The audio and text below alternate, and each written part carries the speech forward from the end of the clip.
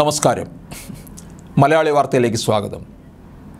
ഒരു വലിയ തമാശ ഉണ്ടായിട്ടുണ്ട് ഈ സി പി എമ്മിന്റെ സ്ഥാനാർത്ഥി പട്ടികയൊക്കെ പ്രഖ്യാപിച്ചതിന് ശേഷം. പതിനഞ്ച് ഇടങ്ങളിലാണ് കേരളത്തിൽ സി പി എം മത്സരിക്കുന്നത്. ബാക്കി നാല് ഒന്ന് എൽ ഡി എഫ് പ്രധാന കക്ഷിയാണല്ലോ സി പി എം. ഇതിലെ തമാശയായിട്ടുള്ള വാർത്ത എന്ന് പറയുന്നത് നമ്മുടെ ഡോക്ടർ തോമസ് ഐസക് എന്ന മഹാനായ ബുദ്ധിജീവി നമ്മുടെ ധനകാര്യ വിദഗ്ധൻ അദ്ദേഹം മത്സരിക്കുന്നത് പത്തനംതിട്ടയിൽ നിന്നാണ്. കുറേ നാളായിട്ട് ഈ പത്തനംതിട്ടയ്ക്കകത്ത് തന്നെ കിടന്ന് കറങ്ങുകയായിരുന്നു നമ്മുടെ ധനമന്ത്രി. അവിടെ ഒക്കെ തന്നെ വന്നിരിക്കുന്ന ചുവരെഴുത്തും ഫ്ലെക്സും ഒക്കെയാണ് ആൾക്കാർ മുഴുവൻ രസിപ്പിക്കുന്നത്. മറ്റൊന്നുമല്ല ഇന്ത്യയുടെ ഭാവി ധനമന്ത്രിയാകാൻ കെൽപ്പുള്ള നേതാവെന്നാണ് ഇടതുമുന്നണി തോമസ് ഐസക്കിനെ വിശേഷിപ്പിക്കുന്നത്.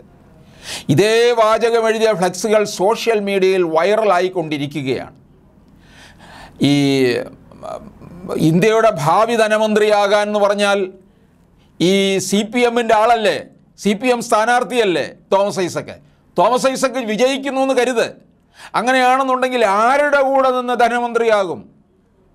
അല്ലെങ്കിൽ കോൺഗ്രസ് യു പി എ സർക്കാർ അധികാരത്തിൽ വരണം സി പി എമ്മുകാരെ ഉൾപ്പെടുന്ന ഇന്ത്യ മുന്നണി അധികാരത്തിൽ വരണം.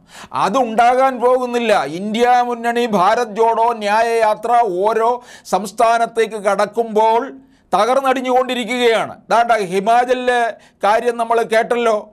ഇങ്ങനെ പലതും അവിടെ സംഭവിച്ചുകൊണ്ടിരിക്കുകയാണ്. അതുപോലെ തന്നെ മമത വിട്ടെറിഞ്ഞിട്ട് പോയി. അരവിന്ദ് കെജ്രിവാൾ കളഞ്ഞു.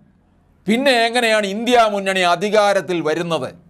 പിന്നെ എങ്ങനെയാണ് അതോ തോമസ് ഐസക്ക് പിന്നെ നമ്മുടെ നരേന്ദ്രമോദിയോടൊപ്പം ചേരുമോ? നരേന്ദ്രമോദിയോടൊപ്പം ഇരുന്നൊന്ന് ഡിന്നർ കഴിച്ചാൽ കൊള്ളാമെന്ന് ഐസക്കിന് വലിയ മോഹമുണ്ട്.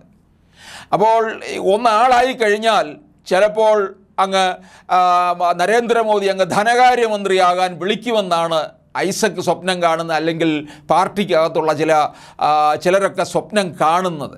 പണ്ട് പിന്നെ കോൺഗ്രസ്സുകാർ വിളിച്ചതല്ലേ നമ്മുടെ ജ്യോതി ബസുവിനെ പ്രധാനമന്ത്രിയാകാൻ വിളിച്ചതാണ്. അതവർക്ക് പറ്റിയ ഏറ്റവും വലിയ മണ്ടത്തരമാണ് പോകാതിരുന്നത്.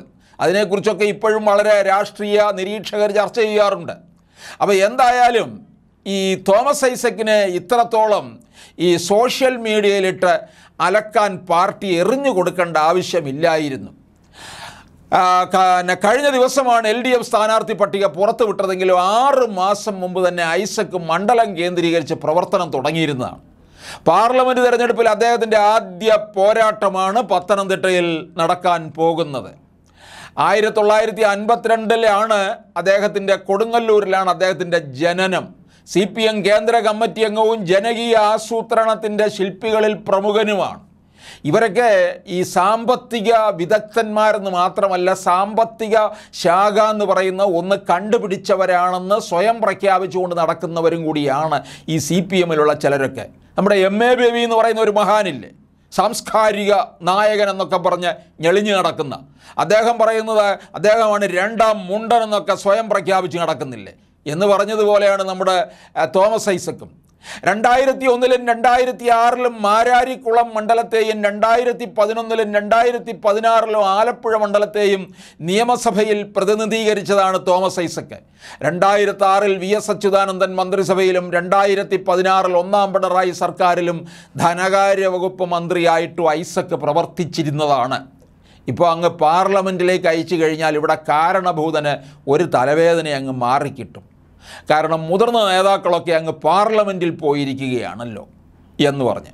അപ്പോൾ എന്തായാലും പാർലമെന്റിന് എന്തായാലും ഇനി ഒരു ഒരു ഒരു ഒരഴക് തന്നെയായിരിക്കും. ഒരാന ചന്തം തന്നെയായിരിക്കും. താൻ ഐസക് അങ്ങോട്ട് പാർലമെന്റിലേക്ക് കയറി വരുന്ന ഒരു ഒരു ഒരു രംഗമൊക്കെ നമ്മളൊന്ന് ആലോചിച്ച് നോക്കിക്കേ. അപ്പോൾ എന്തായാലും ഐസക്കിന് മോദി നോട്ടമിട്ടിരിക്കുകയാണ്. Oh.